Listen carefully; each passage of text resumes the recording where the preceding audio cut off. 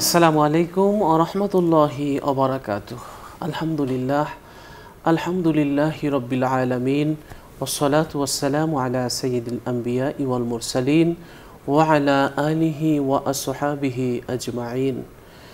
সুপ্রিয় দর্শক শ্রোতা, এই মুহূর্তে যারা দেশে আছেন আছেন যারা প্রবাসী, বিশ্বের যে যেখান থেকে আমাদের আজকের আয়োজন দেখছেন, শুনছেন, সকলকে অনেক অনেক প্রীতি ও শুভেচ্ছা। প্রিয় দর্শক শ্রোতা, আলোকিত প্রতিদিন অনুষ্ঠানটি একটি গবেষণামূলক অনুষ্ঠান জীবন ঘনিষ্ঠ অনুষ্ঠান। এই অনুষ্ঠানে আমরা ইসলামী ব্যক্তিত্ব জগতের উজ্জ্বল নক্ষত্রদেরকে আমন্ত্রণ জানিয়ে থাকি। সেই ধারাবাহিকতায় আজও আমরা একজন বিশিষ্ট মোফাসিরে কোরআনকে আমন্ত্রণ জানিয়েছি। আজ আমাদের সাথে আছেন হাফেজ মাওলানা কাজী মারুবিল্লাহ আসসালামু আলাইকুম ওরহমতুল্লাহ ওবরাকাত ওয়ালাইকুম আসসালাম রহমতুল্লাহ বারাকাত মোতারাম কেমন আছেন জি? আলহামদুলিল্লাহ আপনি ভালো আছেন? আলহামদুলিল্লাহ ভালো আছি। দর্শক আজ আমরা যে বিষয়টি নিয়ে কথা বলব সেটি হচ্ছে শ্রেষ্ঠ শিক্ষক নবীজি সাল্লাহ আলহিহাসাল্লাম আসলে ঘুণে ধরা এই সমাজ অশান্তির আগুনে ত্রাহি ত্রাহি করা এই সমাজ বদলে দিয়েছিলেন রসুল সাল্লাহ আলহিহাসাল্লাম শিক্ষক হয়ে এই পৃথিবীতে এসে। অন্ধকারাচ্ছন্ন এই পৃথিবীকে আলো দিয়েছিলেন নবী সাল্লাহু আলহিহাসাল্লাম হেরার আলো দিয়ে তিনি আলোকিত করেছিলেন মানুষের হৃদয়ের অন্ধকারের সেই ঘরকে। নিকোষ কালো অন্ধকারাচ্ছন্ন সেই সমাজকে করেছিলেন তিনি আলোকিত। তিনি শ্রেষ্ঠ শিক্ষক। কিন্তু আজ আমরা তার সেই বাণীকে আমরা আজ হৃদয়ে ধারণ করতে ব্যর্থ হয়েছি বিধয়। আজ আমরা শান্তির পরিবর্তে অশান্তির পিছনে আমরা ছুটে চলছি। মনে করছি এখানেই শান্তি আছে, আসলে সেখানে শান্তি নেই। রাসুল সাল্লাহ আলাইসাল্লাম যে অ্যাডভাইসগুলো দিতেন, সেগুলো সাহাবাইকেরাম হৃদয়ের কোমল ভূমিতে নূরের হরফে ইমানের কালিতে এমনভাবে খোদাই করে লিখে রাখতেন যে তারা এগুলোকে খুব শক্ত করে জীবনে আঁকড়ে ধরতেন এবং জীবনে বাস্তবায়ন করতেন। সে কারণেই তারা হয়েছিল সভ্যতার সবচেয়ে দামি মানুষ। আমরা পৃথিবীতে অনেক আবু বকারের নাম শুনি, ওমরের নাম শুনি কিন্তু রাসুল সাল্লাহ আলাইসাল্লামের শিক্ষা গ্রহণ করে যে আবু বকার তৈরি হয়েছিল, ওমর তৈরি হয়েছিল, পৃথিবীতে আর একটা কি সেরকম, আর একজন কি সেরকম ওমর, আবু বকার পাওয়া যাবে? হয়তো পাওয়া যাবে না। এরা ছিল সেই সপ্তম শতাব্দীর সেই ঘুণে ধরা সমাজের মানুষ। সেখান থেকে রসুল সাল্লাহ আলাইসাল্লাম তাদেরকে মানবতার সবচেয়ে নিচ থেকে সভ্যতার দামি করেছিলেন তার শিক্ষা প্রদানের মাধ্যমে। রাসুল সাল্লাহ আলাইসাল্লাম ছিলেন এমন একজন শিক্ষক, যখন তিনি কথা বলতেন, যখন তিনি দাস দিতেন, মনে হতো যেন একটি মুক্তার মালা ছিঁড়ে গেছে এবং একটি একটি করে মুক্তার দানা ঝরে পড়ছে। তার বক্তব্য অনেক লম্বা হতো না এবং ছোটও হতো না, কিন্তু তার বক্তব্য হতো পরিপূর্ণ এবং তিনি অল্পের মধ্যেই মানুষকে অনেক বেশি জিনিস দিতে পারতেন এবং তিনি মুহূর্তের মধ্যেই মানুষের হৃদয়কে বন্দি করে ফেলতেন তার বাণীর জাদুতে। তো আমরা রাসুল সাল্লাহ আলাইসাল্লাম শ্রেষ্ঠ শিক্ষক এই পৃথিবীর আমাদের। আমরা তার শিক্ষাকে জীবনে ধারণ করব। চলুন, এ বিষয়টি নিয়ে আমরা আজকের অতিথির কাছ থেকে আলোচনা শুনছি। জি, মোহতারাম। ধন্যবাদ, ইসলামী চিন্তাবিদ এবং মুফাসসির কোরআন সম্মানিত সঞ্চালক উপস্থাপক মৌলানা সেলিম হোসেন আজাদি, অত্যন্ত গুরুত্বপূর্ণ ব্যক্তি, একটি বিষয়ে আমাকে বলার জন্য নির্দেশনা প্রদান করেছেন। বিষয়টি এত গুরুত্বপূর্ণ যে তার শুরুটা করা যাবে, শেষ করা যাবে না। শিক্ষকের সঙ্গে শিক্ষকের একটা সুনিবিড় সম্পর্ক রয়েছে। যেখানে শিক্ষা, সেখানে শিক্ষকের প্রয়োজন। শিক্ষক ব্যতিরেকে শিক্ষার কোনো কোনো সুযোগ নেই। কারণ শিক্ষা লাভ করতে হলে এখন আদর্শ, একজন উন্নত মানের, একজন সচ্চরিত্রবান, সুশিক্ষিত শিক্ষকের প্রয়োজন। আর সেই শিক্ষক কিনি ছিলেন, তিনি কে ছিলেন? যিনি ছিলেন মানবতার মহান একমাত্র মুক্তির দূত। সর্বশ্রেষ্ঠ মহান শিক্ষক। আল্লাহ সুবাহানাহু ও তারা কর্তৃক প্রেরিত হজরত মোহাম্মদ রসুল্লাহ সাল্লাহ আলি সাল্লাম। আল্লাহ সুবাহানাহু ও তালা যত নবী এবং রসুল পাঠিয়েছেন পৃথিবীতে, সমস্ত নবী এবং রসুলদেরকে সমস্ত গুণে গুণান্বিত করেননি। কাউকে বিশেষ বিশেষ গুণ দিয়েছেন, বিভিন্ন নবী এবং রসুলদেরকে বিশেষ গুণে গুণান্বিত করেছেন। মহাদ্দেস আব্দুল দেহলবী রহমতুল্লাহ আলহ তার বিখ্যাত সিরাত গ্রন্থ মাদারাজ নব্বত কিতাবে তিনি লিখেছেন, আল্লাহ সুবাহানহু তালা নাবিগিন আদম আলি ইসলাম থেকে ঈসা আলাহ ইসলাম পর্যন্ত মানুষের হেদায়তের জন্যে, মানুষের কল্যাণের জন্যে, মানুষের মুক্তির জন্যে, মানুষদেরকে সুপথ প্রদর্শন করার জন্যে, মানুষদেরকে শ্রেষ্ঠ মানুষে পরিণত করার জন্যে, মানুষদেরকে জান্নাতমুখী মানুষ করার জন্যে, মানুষদেরকে তাহিদের সালাত আখিরাত মুখী করার জন্যে। যত নবী এবং রসুল এসছেন, পাঠিয়েছেন আল্লাহ তালা সমস্ত নবীর এবং রসুলদেরকে আল্লাহ সুবাহানহু তালা যে বিশেষ বিশেষ গুণগুলো দিয়েছিলেন, সমস্ত গুণগুলোকে একত্রিত করে আখিরি জামানার পায়গাম্বর, আখিরি নবী, সর্বশ্রেষ্ঠ নবী হজরত মোহাম্মদ সাল্লাহ সাল্লামকে আল্লাহ তালা সমস্ত গুণগুলো দান করেছিলেন। রসুল্লাহ সাল্লাহ সাল্লাম তার পরিচয় নিজেই দিচ্ছেন। বয়স্ত মুআল্লিমান, আমি পৃথিবীতে এসেছি একজন শিক্ষক রূপে। যিনি শিক্ষক রূপে পৃথিবীতে আসলেন তিনি নিশ্চয়ই কোথাও না কোথাও শিক্ষা লাভ করেছেন। আর তার শিক্ষক কে ছিলেন? কে তাকে শিক্ষা লাভ শিক্ষা দিলেন? তিনি হচ্ছেন মহান আল্লাহ রবুল আলমিন। আল্লাহ সুবাহ সমস্ত বিষয়ে শিক্ষা দান করে, আমার নবীজিকে সর্বগুণে গুণান্বিত করে, সর্ব বিষয়ে শিক্ষা দান করে, শিক্ষিত করে গোটা পৃথিবীতে পাঠালেন। আপনি নিশ্চয়ই জানেন, আল্লাহ সুবাহ সুরা বাকার মধ্যে আদম আলাই সাল্লামকে সৃষ্টি করার পরে আদম আলাই সাল্লাম ব্যাপারে বলছেন ও আল্লামা আদম আল আসমা আকুল্লাহা আল্লাহ তাআলা আদম আলাই সাল্লামকে সমস্ত বিষয়ে নামগুলো শিক্ষা দিলেন। আর আমার নবীজিকে আল্লাহ সুবাহ তাআলা শুধু নাম নয়, সেই বিষয়ে পণ্ডিত বানিয়ে, প্রত্যেকটি বিষয়ে পণ্ডিত বানিয়ে আমার নবীজিকে সাল্লাহ সাল্লামকে পৃথিবীতে পাঠালেন। আমরা এমন একজন, গোটা বিশ্ব একজন, এমন একজন মহান শিক্ষক পেয়েছেন। তিনি হলেন আল্লাহ রবুল আলমিনের কাছ থেকে শিক্ষা লাভ করা মহান ব্যক্তি। যে সময় মানবতার কোনো মূল্যায়ন ছিল না, নারীর কোনো মর্যাদা ছিল না, দাস হয়ে জন্মগ্রহণ করার পরে মানুষ হিসেবে নিজকে পরিচয় দিতে পারতো না। এম- এমন এক জাহিলি যুগ, যদিও সেই যুগে অনেক ভালো ভালো গুণও ছিল। সেই ভালো গুলো, গুণগুলো চাপা পড়ে গেলে গিয়েছিল। তাদের বর্বরতা তাদের অসভ্যতা এবং তাদের অন্যায় কর্মকাণ্ডের কারণে। এমন এক সমাজের মধ্যে আল্লাহ তাআলা গোটা মানবের সর্বশ্রেষ্ঠ শিক্ষক, মানবতার মুক্তির একমাত্র মহান দূত বিশ্বনবী মোহাম্মদ রসুল্লাহ সাল্লামকে আল্লাহ রবুল আলমিন পাঠালেন। এবং সেই সমাজে এসে আল্লাহ সুবাহানহু তাআলার এই প্রেরিত নবী, আখির জামানার পায়গম্বর, সর্বগুণে গুণান্বিত মহান শিক্ষক হজরত মোহাম্মদ সাল্লাম গোটা সমাজকে পরিবর্তন করে ফেললেন। যেই সমাজের মানুষগুলো ছিল অসভ্য, সেই সমাজের মানুষগুলো হয়ে গেল আমার নবীজির শিক্ষা লাভ করে, সভ্যতার চরম শিখরে। যে সমাজের মানুষগুলো নিজের হাতে, নিজের কলিজার টুকরা কন্যা সন্তানকে কবরস্থ করত, সেই সমাজের মানুষ আমার নবীজির শ্রেষ্ঠত্ব, আমার নবীজির গুণাবলী, আমার নবীজির শিক্ষা লাভ করে তারা কন্যা সন্তানকে লাভ করার জন্য, কন্যা সন্তানকে পাওয়ার জন্য আল্লাহ রবুল আলমীর কাছে দোয়া করা শুরু করে দিলেন। আয় আল্লাহ তাআলা, আপনি আমাকে একটি কন্যা সন্তান দান করুন, যার বিনিময়ে আমি একটি জান্নাতের মালিক হতে পারব। আল্লাহ সুবাহ এমন একজন মহান শিক্ষক গোটা পৃথিবীর মধ্যে পাঠিয়েছেন। আমরা জানি, নিশ্চয়ই আপনি জানেন, আমরা বিভিন্ন কলেজ, মাদ্রাসা, বিশ্ববিদ্যালয়ে বিভিন্ন শিক্ষক থাকে। কেউ ভূগোলের শিক্ষক, কেউ অঙ্কের শিক্ষক, কেউ ইংরেজি শিক্ষক, কেউ আরবি সাহিত্যের শিক্ষক, কেউ ইসলামী স্টাডিজের শিক্ষক, বিভিন্ন বিষয়ের শিক্ষক থাকে। কেউ বিজ্ঞানের শিক্ষক, কেউ দর্শনের শিক্ষক, বিভিন্ন বিষয়ের শিক্ষক থাকে। একজন শিক্ষক একাধিক সাবজেক্টে জ্ঞান লাভ করতে পারে না।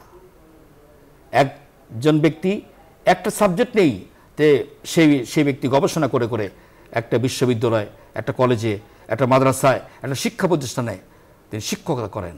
কিন্তু আমার নবীজি কোন বিষয়ে, কোন কোন বিষয়ে শিক্ষক ছিলেন? আল্লাহ সুবাহানাহু ওয়া তাআলা আমার নবীজিকে সর্বগুণে গুণান্বিত।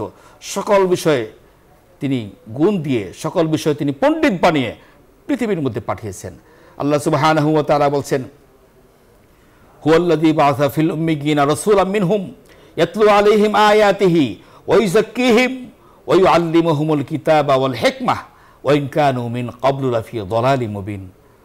তোমাদের মধ্য থেকেই এমন একজন নবীকে আমি, এমন একজন ব্যক্তিকে আমি, এমন একজন মহান রসুলকে আমি পাঠিয়েছি।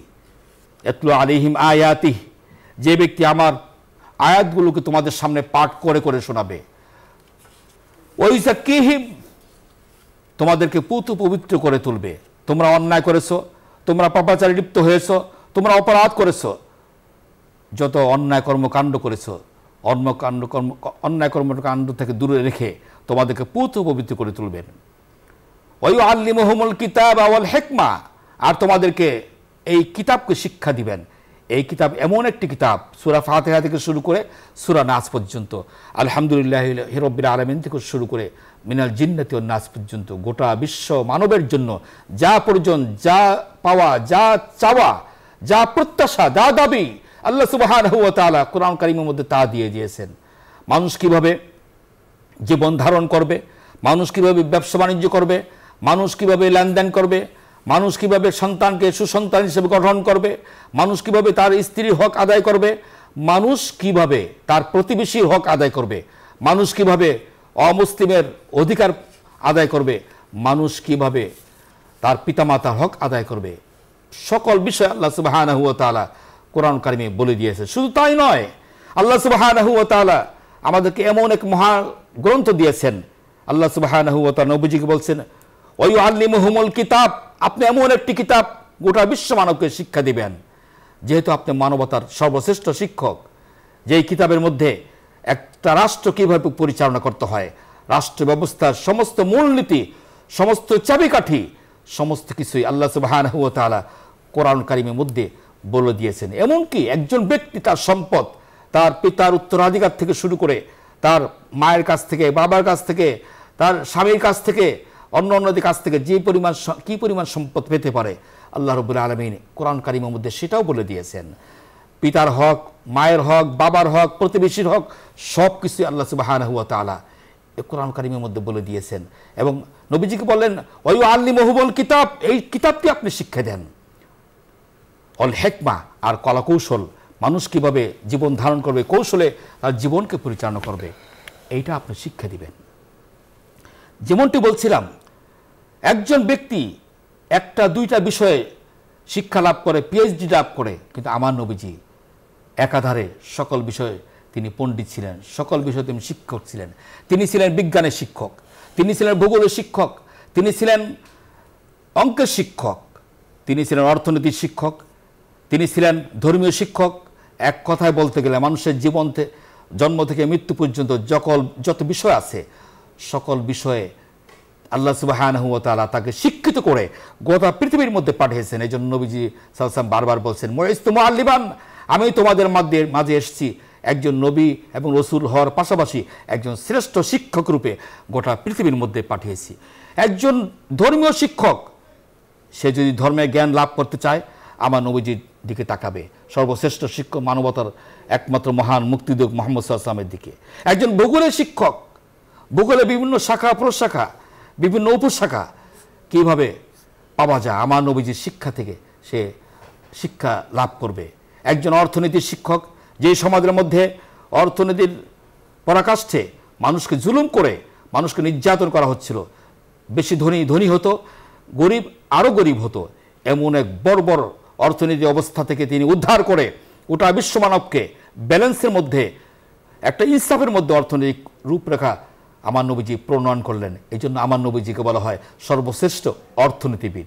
একজন রাষ্ট্রনায়ক, আমার নবীজি মক্কা হিজরত করে, মক্কা থেকে মদিনায় হিজরত করে, মদিনায় গিয়েই নয়টি গোত্র, নয়টি সম্প্রদায়কে নিয়ে, বিভিন্ন গোত্র, বিভিন্ন মতের লোকদেরকে নিয়ে একটি সনদ প্রণয়ন করলেন। আমার নবীজি সেই সনদের মধ্যে সকলের অধিকার সুপ্রতিষ্ঠিত করলেন। গোটা বিশ্ব মানবের জন্য মানবাধিকার যা বলতে যা বুঝায় আমার নবীজি সেই সনদের মধ্যে সাতান্ন, আটান্নটি ধারা, উপধারা সমন্বিত, সম্বলিত যে সনদটি মদিনা সনদ বা চার্টার অফ মদিনা এই মদিনা সনদ প্রণয়ন করার মাধ্যমে আমার নবীজি হয়ে গেলেন মদিনা এসে সর্বশ্রেষ্ঠ মহান রাষ্ট্রনায়ক। তাহলে বোঝা গেল, আমার নবীজি রাষ্ট্র, আমার নবীজি হচ্ছে পলিটিক্যাল সায়েন্সের সর্বশ্রেষ্ঠ শিক্ষক। আমার নবীজি ছিলেন বিজ্ঞানের শিক্ষক। বিজ্ঞানের যত থিওরি আছে, আমার নবীজি সমস্ত থিওরি গোটা বিশ্ব মানবকে শিখিয়েছেন। আমার নবীজি ছিলেন একজন সমরনায়ক একজন যুদ্ধের কলাকৌশলী। আমার নবীজি সর্বশ্রেষ্ঠ কলাকৌশলী ছিলেন। আপনি নিশ্চয়ই জানেন, আমার নবীজি মক্কা ত্যাগ করে মদিনা যখন চলে গেলেন, দেড় বছর, পনেরো, দুই বছরের মাথায় বদের ময়- ময়দানে অবতীর্ণ হলেন। আমার নবীজি জীবনে কখনো যুদ্ধ করেননি, বদরে যুদ্ধ করার আগে। তিনি যুদ্ধ করার আগেই তিনি বদরের প্রান্তে গিয়ে যুদ্ধের কলা কৌশলগুলি সাহাবায়ক রামদেরকে উপস্থাপন করলেন। একদিকে তিনশো তেরো জন সাহাবায়ক রাম মর্দে মুজাহিদ, আমার নবী ইসলাম তাদেরকে যুদ্ধের আগেই তাদেরকে মনোবল সৃষ্টি করলেন। তাদেরকে বলে দিলেন অলাকব নাসলাকমুল্লাহ বিবাদরে ও আন্তুম আজিল্লা। আল্লাহ সুবাহ তারা তোমাদেরকে বদর প্রান্তে সাহায্য করেছেন। ও আন্তুম আজিল্লা, তোমরা ছিলে দুর্বল। তোমাদের যুদ্ধের কলা কৌশলে জ্ঞানের অভাব ছিল, তোমাদের খাদ্যের অভাব ছিল, তোমাদের অস্ত্রের অভাব ছিল তোমাদের অর্থের অভাব ছিল। এমন এক দুর্বল বাহিনীকে নিয়ে আমার নবী সাল্লাম বদরে প্রান্তে আসলেন, অপর প্রান্তে যারা ছিল। হাজারের অধিক। তাদের অস্ত্রের বল, শক্তির বল, খাদ্যের বল, মনোবল, সংখ্যার বল, সর্বদিক দিয়ে তারা ছিল। তুঙ্গে আমার নবীজি এমন এক সফল বাহিনীর বিরুদ্ধে যুদ্ধে অবতীর্ণ হলেন, বিভিন্ন কৌশল অবলম্বন করলেন এবং কৌশল অবলম্বন করে তিনশো তেরো জনের এই দুর্বল বাহিনীকে নিয়ে তিনি বিজয়ী পতাকা পথ পথ করে উড়িয়েছেন। জীবনে কখনো যুদ্ধ করেননি যে ব্যক্তি। তার সেনাপতিত্বে তার সেনায় নায়কের অধীনে তিনি যেই যুদ্ধের কলাকৌশল তিনি গোটা বিশ্ব মানবকে শিখিয়েছেন। বর্তমানকালে একজন অন্যতম সেনানায়ক বলেছেন যে, আমি একটি লেখা দেখেছিলাম। তিনি বলেছেন, কেউ যদি কোনো সেনা প্রধান যদি সেনা প্রধান থাকা অবস্থায় বিভিন্ন যুদ্ধের কলাকৌশলের জ্ঞান অর্জন করতে চায় সে যেন মোহাম্মদ সাল্লামের দিকে তাকায়। সুবহান আল্লাহ তাহলে বোঝা গেল আমার নবীজি শুধুমাত্র একজন নবী এবং রসুল, এখানেই তার শেষ পরিচয় নয়। আমার নবীজি ছিলেন সর্বশ্রেষ্ঠ সেরা নায়ক। যতগুলো যুদ্ধে অবতীর্ণ হয়েছেন, প্রত্যেকটি যুদ্ধে তিনি কলাকৌশল দিয়ে বিজয় হয়েছেন এবং বিজয়ী পতাকা পথ করে উড়িয়েছেন। আমার নবীজি ছিলেন মানুষের অধিকার সুপ্রতিষ্ঠিত করেছেন। একজন অমুসলিমের কি কি অধিকার রয়েছে সেই শিক্ষা আমার নবীজি দিয়েছেন। সন্তানকে সুসন্তান হিসেবে তৈরি করার ব্যাপারে আমার নবীজির চাইতে শ্রেষ্ঠ কথা পৃথিবীতে আর কেউ বলতে পারেনি। অর্থাৎ তার যে জ্ঞানের জগৎটা, সেটা কোনো একটা বিভাগেই সীমাবদ্ধ ছিল না। তিনি জ্ঞানের আলো ছড়িয়েছেন, মানুষের জীবন চালাতে যতগুলো বিভাগ, শাখা প্রশাখা প্রয়োজন, সকল ক্ষেত্রেই তিনি রেখেছেন পরিপূর্ণ যে শিক্ষা গ্রহণ করা দরকার, তার একটি ছাপ তিনি রেখেছেন। চমৎকার বলেছিলেন। চমৎকার বলছেন মহতারাম। দর্শক, মোহতারাম খুব গুরুত্বপূর্ণ আলোচনা করেছেন। আসলে রসুল সাল্লাহ আলাইসাল্লামের যে গোটা জীবন সেই গোটা জীবনই সর্বশ্রেষ্ঠ আদর্শ একজন শিক্ষক রূপে যদি আমরা গোটা জীবনকে দেখি, তাহলে আমরা দেখব যে তিনি তার গোটা জীবনই একজন আদর্শ, শ্রেষ্ঠ শিক্ষকের জীবনটা যেমন হতে পারে তার চেয়ে অনেক গুণ উন্নত ছিল তার জীবনটা। রাসুল সাল্লাহ সাল্লাম তিনি আদর্শ শিক্ষক ছিলেন, যার শিক্ষা দীক্ষা মাত্র তেইশ বছরে সংক্ষিপ্ত সময়ে জ্ঞানের আলোকিত মশাল হয়ে সমগ্র আরব উপদ্বীপকে আলোকিত করেছে এবং পাল্টে দিয়েছে তাদের বর্বরতাকে মানবতায়। তিনি সমগ্র পৃথিবীর জন্য কল্যাণ এবং হেদায়েতের এমন এক মশাল প্রজ্বলিত করেছেন, যা কেমত পর্যন্ত আগত মানব এবং জিন জাতিকে ইনসাফ, সুখ, শান্তি, নিরাপত্তা এবং সমৃদ্ধির আলোক উজ্জ্বল পথ দেখাবে। এবং সারা পৃথিবীতে তার এই আলো পৃথিবীর সমস্ত অন্ধকার দূর করে দিবে। আমরা জানি যে একটি সূর্য যখন ওঠে সকালে, তখন সারা রাতের সমস্ত অলিতে গলিতে ঢুকে থাকা, জমে থাকা অন্ধকার একটি সূর্য দূর করে দেয়।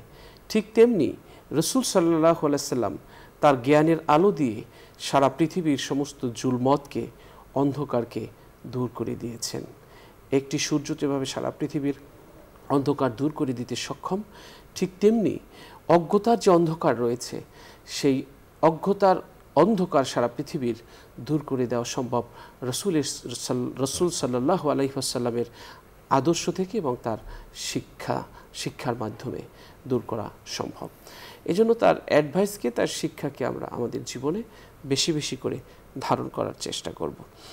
অতি সংক্ষিপ্ত সময়ে মহানবী সাল্লাহ সাল্লামে নবীজি সাল্লাহ আলাইসাল্লাম আরবে অনারবে যে বিস্ময়কর বিপ্লব সাধন করেছেন, তার অপ্রতিরোধ্য গতি এবং ব্যাপকতা দেখে চিন্তিত এবং বিস্মিত হয়েছে সেসব লোকও যারা তার সম্মোহনী ব্যক্তিত্বের এবং তার এই কল্যাণময় মিশনের কঠোর বিরোধী ছিল।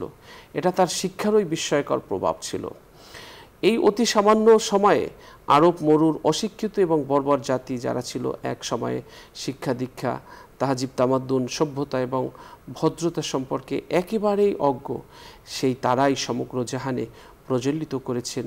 শিক্ষা, দীক্ষা, সভ্যতা, শুভ্রতা, ভদ্রতা এবং সামাজিকতার পরিশীলিত শিষ্টাচারের দীপ্তিময় মশাল। আমরা জানি রসুল সাল্লাহ আলাইসাল্লাম তিনি শিক্ষক রূপে এই পৃথিবীতে এসেছিলেন। তাই রসুল সাল্লাহ সাল্লাম যেই শিক্ষা তিনি দিয়েছেন এবং যেই শিক্ষা তিনি রেখে গেছেন, সেই শিক্ষা আমাদের জীবন চলতে যতটুকু প্রয়োজন, যা প্রয়োজন, সব রয়েছে তার সেই শিক্ষার মধ্যে। আমরা আমাদের জীবনের সকল বিভাগের শিক্ষাই পাবো রসুল সাল্লাহ আলাইসাল্লামের সেই জীবনে এবং আদর্শের মধ্যে। রাসুল সাল্লাহ আলাইসাল্লাম তাদের ব্যাপারে বলেন যে, নিশ্চয়ই আমার সাহাবিরা আকাশের তারকার মতো তোমরা তাদের যে কারও অনুসরণ করলে হেদায়েত তথা সঠিক নির্দেশনা পাবে। অর্থাৎ তার শিষ্যত্ব গ্রহণ করে ধন্য হয়েছেন যারা সাহাবাইকেরাম তাদের যে কারও অনুসরণে রয়েছে উম- উম্মতে মোহাম্মদীর পথ চলার নির্দেশিকা এবং হেদায়েতের পাথেও তাদের সম্পর্কে রসুল সাল্লাহ সাল্লাম বলেছেন যে অনুসরণ করলে তাদেরকে সঠিক নির্দেশনা পাওয়া যাবে। রসুল সাল্লাহ আলাইসাল্লামের আগমন ছিল যেন এক বর্ষণ এক খরা লাগা তৃষিত, এক ফেটে যাওয়া মাটিতে এক বর্ষণ একখণ্ড বর্ষণ। তিনি যে জ্ঞান এবং আলোকবর্তিকা নিয়ে এসেছে, সেই জ্ঞান এবং আলোকবর্তিকায় সেই জ্ঞান এবং সেই জ্ঞানের বৃষ্টিতে খরা লাগা তৃষিত, ফেটে যাওয়া মাঠ আবার যেন ফিরে পেল সজীবতা। ফল, ফসল যেভাবে বৃষ্টি হলে সজীবতা পায়, ঠিক তেমনি এই জুলমাতে ডুবে থাকা, অন্ধকারাচ্ছন্ন অজ্ঞতায় ডুবে থাকা এই পৃথিবী যখন তার জ্ঞানের বৃষ্টি পেল, আবার তাদের জীবনটা সজীব হলো। আমরা রসুল সাল্লাহ সাল্লামকে অনুসরণ করব, তার জীবন অনুসরণের মাধ্যমে আমাদের জীবনকেও আলোকিত করব। চলুন বিষয়টি নিয়ে আরও শুনছি আমাদের অতিথির কাছ থেকে। ধন্যবাদ আবার আপনাকে আমাকে কথা বলার সুযোগ করে দেওয়ার জন্য। রসুল্লাহ আসলাম সর্বশ্রেষ্ঠ মানবতার একমাত্র মহান শিক্ষক। তার শিক্ষার পরিধি এতটা বিস্তৃতি এবং এতটা ব্যাপক শেষ করা যাবে না আলোচনা করে। রসুল্লাহ আসলাম তিনি ছিলেন ন্যায় বিচারক। তিনি ন্যায়ের শিক্ষা দিয়েছেন গোটা মানবকে। তিনি সন্তানকে সুসন্তান করার জন্য শিক্ষা দিয়েছেন। আজকে আমাদের সমাজের মধ্যে আমাদের সন্তানগুলোকে যদি আমরা আদর্শ সৎসন্তান হিসাবে গঠন করতে চাই। আদর্শ সন্তান যেহেতু দেশ ও জাতির জন্য যদি আমরা সন্তানদেরকে তৈরি করতে চাই, তাহলে আমাদেরকে সন্তানদেরকে সুসন্তান হিসাবে তৈরি করতে হবে। রসুল হাসাম এই শিক্ষাই দিয়েছেন গোটা মানবকে। নবীজি বলেন যে, আল্লিমু আউলাদাকুম তোমরা তোমাদের সন্তানদেরকে সুশিক্ষা শিক্ষিত করো।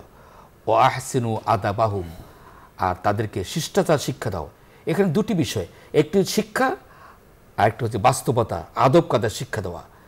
সম্মানিত দর্শক ও শ্রোতা, একদিকে আমরা পুঁথিগত বিদ্যা শিক্ষা প্রদান করাবো সন্তানদেরকে, অপরদিকে তাদের চলাফেরা ওঠা বসা কাজকর্ম, কীভাবে তারা আচরণ প্রদর্শন করবে মানুষের সাথে সেটাও নবীজি বলে দিয়ে, বলে দিলেন, ও আহসিনু আদাবাহুম, তাদেরকে আদব, শিষ্টাচার শিক্ষা দাও।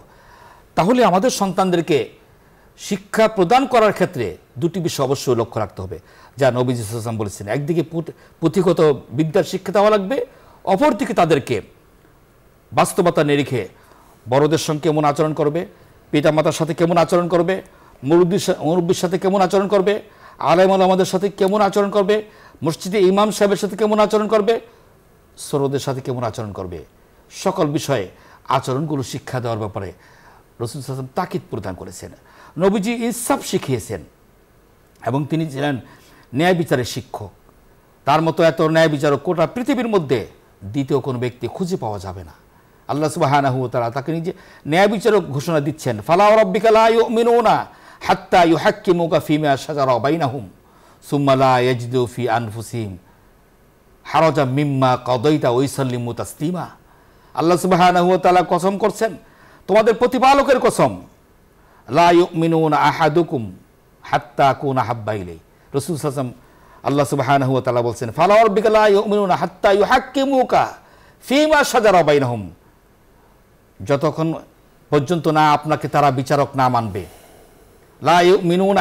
ইউহাক্কিমুকা ফিমা তাদের মধ্যে যে ঝামেলাগুলো হয়, তাদের মধ্যে যে অন্যায়গুলো হয়, অন্যায় মীমাংসার ক্ষেত্রে যদি আপনাকে যদি তারা বিচারক না মানে তাহলে সে লায়ু মিনুনা সে ইমানদার হতে পারবে না। তাহলে নবীজিকে শ্রেষ্ঠ শিক্ষক না মানা পর্যন্ত আমরা ইমানদার হতে পারব না। আল্লাহ সুবাহান ও তারা ঘোষণা সুরানেসার মধ্যে।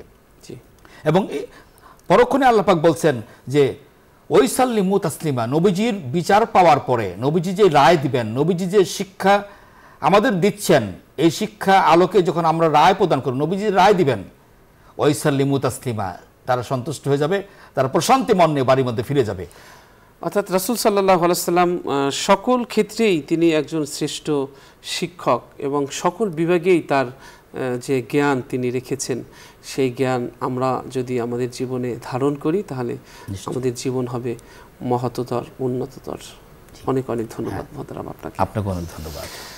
দর্শক আমরা অনুষ্ঠানের শেষ প্রান্তে চলে এসেছি অনুষ্ঠানের এই পর্যায়ে রয়েছে একটি মোনাজাত আমরা আপনারা যে যেখান থেকে এই অনুষ্ঠান দেখছেন আপনারাও চাইলে আমাদের সাথে মোনাজাতে শরীক হতে পারবেন اللهم صل على سيدنا ونبينا وشفينا وحبيبنا مولانا محمد صلى الله عليه وعلى اله وصحبه وبارك وسلم الحمد لله الحمد لله رب العالمين والصلاة والسلام على سيد الأنبياء والمرسلين اللهم وعلى آله وأصحابه أجمعين اللهم আমিন রব্বুল আলমিন আপনার শাহী দরবারে গুনার বোঝা নিয়ে ভিকেরির মতো কাঙ্গালের মতো ফকিরের মতো হাত পেতেছি গো আল্লাহ আপনি জানা অজানা সেরেক বেদাত শয়তানের ধোকায় পড়ে নফসের তারণায় পড়ে। যত ধরনের গুণা করেছি সমস্ত গুণা খাতা তুমি আল্লাহ মাফ করে দাও। রব্বুল আলমিন একদিন এই পৃথিবীর মায়া ছেড়ে চলে যেতে হবে অন্ধকার কবর ঘরে। জানি না ওই অন্ধকার কবর ঘরে কেমন করে থাকব।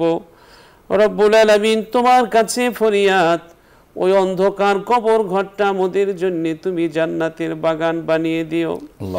রব্বুল আলমিন তোমার কাছে ফরিয়াদ গুনার স্তূপের নিচ থেকে তুমি রহমতের কোলে একটু আশ্রয় করে দাও। রব্বুল আলমিন গুনার মহাসাগরে পড়ে হাবুডুবো খাচ্ছি। গুনার মহাসাগর থেকে তুমি আমাদেরকে একটু আল্লাহ কিনারে ভেরাও। রব্বুল আলমিন এমন এমন গুণা আছে যার কথা ভুলে গেছি, একবারও তওবা করা হয়নি। ভুলে যাওয়া গুণাগুলোর জন্যেও ক্ষমা চাচ্ছি, তওবা করছি। তুমি আল্লাহ সমস্ত গুণাগুলো যা ভুলে গেছি, যা স্মরণ আছে, যা গোপনে করেছি, যা প্রকাশ্যে করেছি, যা রাতে করেছি, যা দিনে করেছি, যা আলোতে করেছি, যা আধারে করেছি সব গুণা তুমি মাফ করে দাও গো আল্লাহ রব্বুল আলামিন এই অনুষ্ঠানকে কবুল আর মঞ্জুর করে নাও। আমিন এই অনুষ্ঠানের পৃষ্ঠপোষককে তুমি কবুল আর মঞ্জুর করে নাও। আমিন। বসুন্ধরা গ্রুপের সব প্রতিষ্ঠানগুলোকে কবুল আর মঞ্জুর করে নাও। আমিন। যারা এই অনুষ্ঠান দেখছেন শুনছেন কাছে দূরে আমাদের সাথে হাত পেতেছেন সবাইকে তুমি কবুল আর মঞ্জুর করে নাও। আল্লাহ আমিন। সবার জিন্দিগির গুনাহ খাতা তুমি মাফ করে দাও। সবার জীবনের সকল ব্যথা বেদনা কষ্ট দুঃখ যন্ত্রণা তুমি দূর করে দাও। আল্লাহ আমিন একদিন এই পৃথিবী ছেড়ে চলে যেতেই হবে। যখন মৃত্যুর বিছানায় পড়ে যাব গো আল্লাহ। মৃত্যুর বিছানাটায় যখন পড়ে যাব গো আল্লাহ তুমি ইমানের সাথে মৃত্যু নসিব করে দিও। মৃত্যুর কষ্ট দূর করে দিও। মৃত্যুর সময় তুমি রব্বুল আলামিন আমাদেরকে কালিমা নসিব করে দিও। আল্লাহ নামাজের মধ্যে মৃত্যু দিও শুক্রবারে মৃত্যু দিও। আল্লাহ মৃত্যুর সময় আল্লাহ তোমার স্মরণ তোমার তওবা মুখে থাকে কালিমা মুখে থাকে সেই ব্যবস্থা তুমি করে দিও গো আল্লাহ। আল্লাহ আমিন আল্লাহ আমিন رب ارحمهما كما ربياني صغيرا سبحان ربك رب العزة عما يصفون وسلام على المرسلين والحمد لله رب العالمين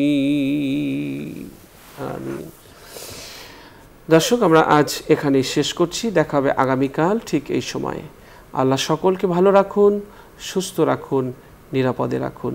সেই প্রত্যাশায় বিদায় নিচ্ছি। আল্লাহ হাফেজ। আসসালামু আলাইকুম আ রহমতুল্লাহি অবরাকাত